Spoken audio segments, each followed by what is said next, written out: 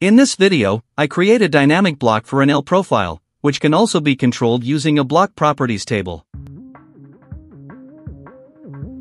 First, let's create the drawing.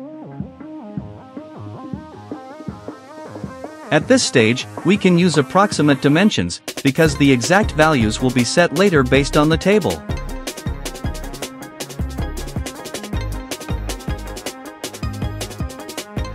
Create a block. Specify the block's base point, in this case, it's already in place. In the block editor, find the Auto Constrain button on the geometric panel. Apply it to the entire drawing. Let's hide the constraint symbols.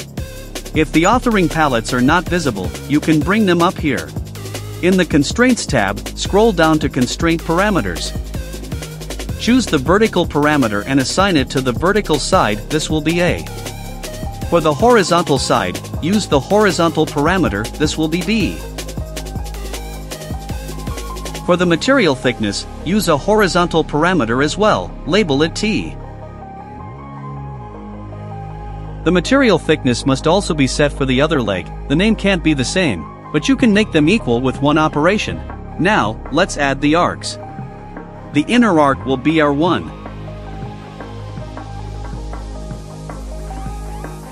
The outer arc will be R2, or you can name it R2D2 if you like.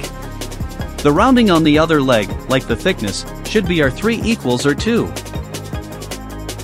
Now that all required parameters are added, place the block table from the dimension palette into the drawing. Use the first icon to add the needed parameters to the table. Calculated parameters can't be edited anyway, so skip those.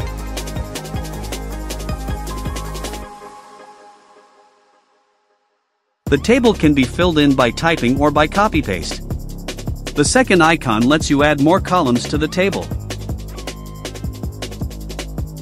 Since this column is the base, drag and drop it to the front. Copy-paste also works here. Done, save the block and test it.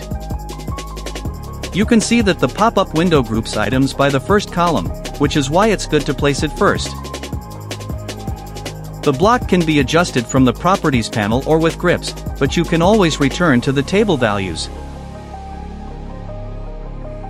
A quick test.